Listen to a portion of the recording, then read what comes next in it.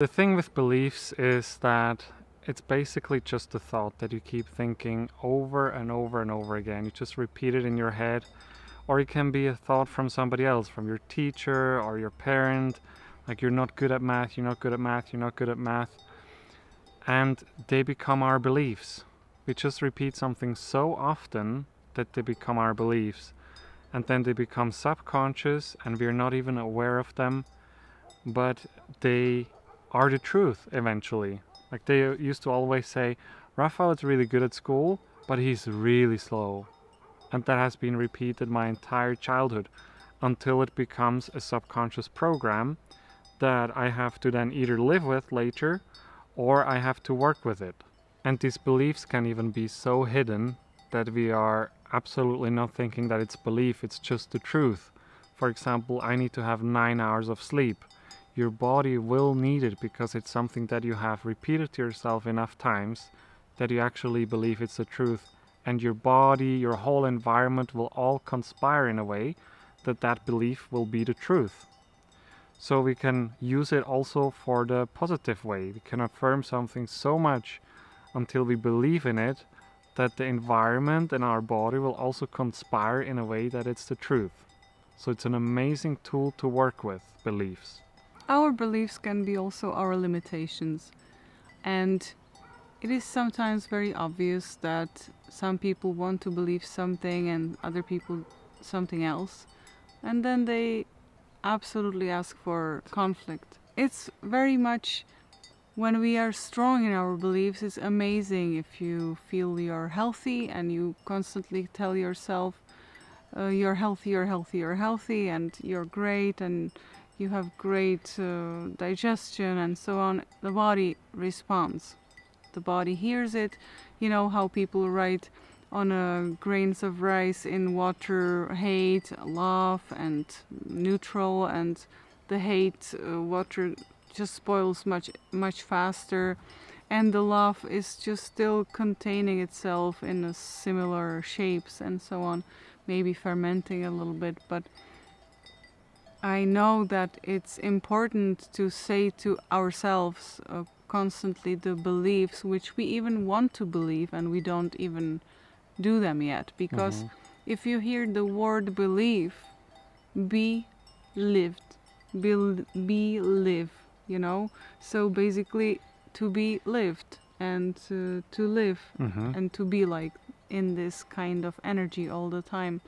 And I once was shopping and uh, found this gold sign. I will share it with you. And it's written on it. She believed she could, so she did. And I have it hanging above my door in my home room. I read it all the time, so I don't even pay attention to it, but it's still written in front of my eyes, so um, my brain is still taking it in right?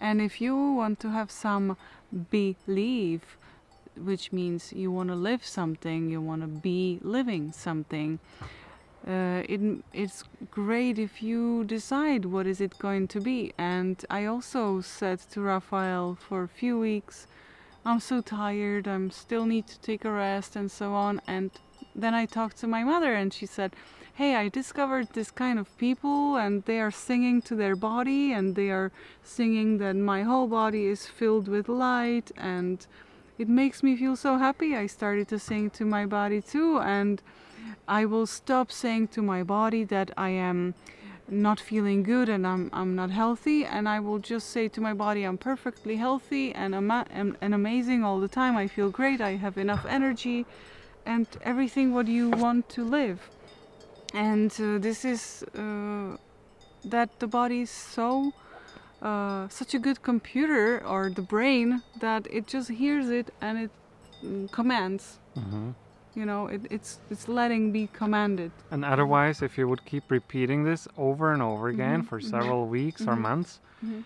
that i'm tired i'm always tired it will become a belief and you will not have to think it anymore it will be just your subconscious belief and you can live like this for 10 20 years that you're always tired.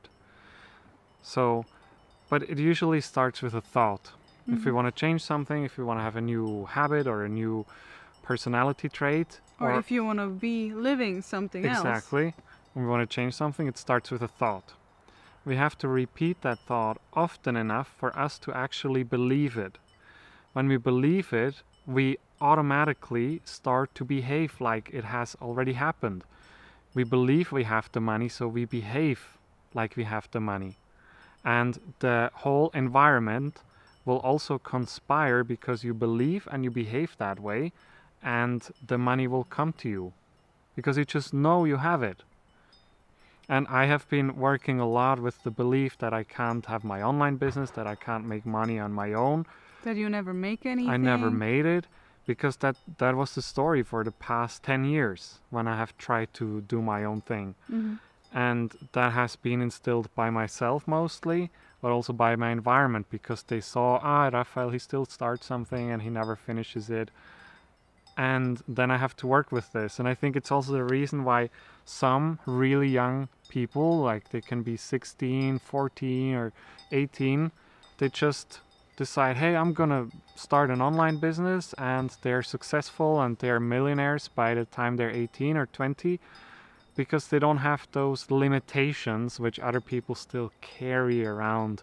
And what themselves. if this and what if that and so Yes. on. Yeah, these limitations. They they didn't know they couldn't, so they could, or they believed they could, so they did it. hmm And they were just lucky on the way. hmm It's you attract it because you're just having the right mindset, and it's a lot about beliefs. When you share with other people around you that you're very tired, that they will also, if you share it so many times, it will just become true, truth in in their head, and they will perceive you as she's always tired or he's they always tired. contribute with their beliefs also into your field. and they That's will even just stronger.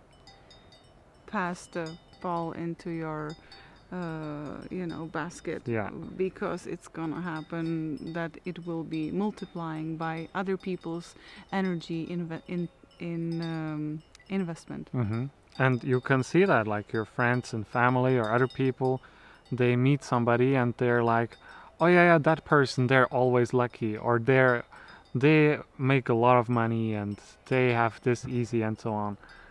People carry those beliefs for you as well. yeah i wanted to mention when Raphael said i have to work with my belief we realized that you don't really have to work he's singing they are singing you know my Your my father, is father singing. singing I don't know if they can hear it. because he has his uh, grandkids there and he sings them right okay i'll realize what i have believe in what i believe in Step one. i realize. And then i don't work with it anymore because if you work with it and we have tried it so many times then it is getting bigger it grows it's becoming stronger. Oh i'm still tired i have to work with believe yeah and I, mean, I have to pressure it and i have to just do something with it and i have to take this and that pill and uh, sleep earlier and so on. No I am great, I feel amazing, and I'm connected to my body. So when my body asks for nap or when my body asks for a pause, I'm going to lay down and have a pause or I'm going to sleep earlier. And it's just normal. And it's normal. It doesn't have to be anything written on a paper or anything.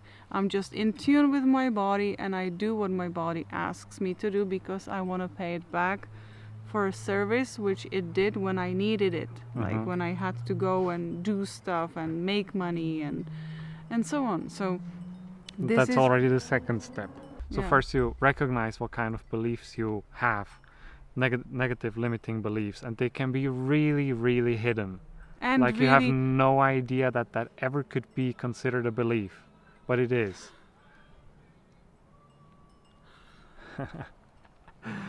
Just laughing at her father singing. Don't know if you can hear it. So you write it down, and every time you catch yourself in the future thinking that way, or you know that you're having that belief in that moment, you say, okay, I no longer believe this way, and I have an alternative belief. I'm gonna think this way now. And yes, you have to repeat it over and over and over again, like you did with all the negative limiting beliefs you already have, until it becomes your new belief and it will just be your nature. They will say, she is like that, he is like that, but you Mhm. needed to get yourself into this. One of the things which can help you the most is you have to believe that you can.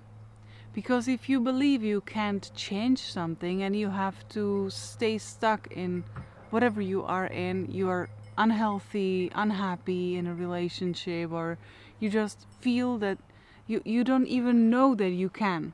hmm That's also a belief. That's a belief.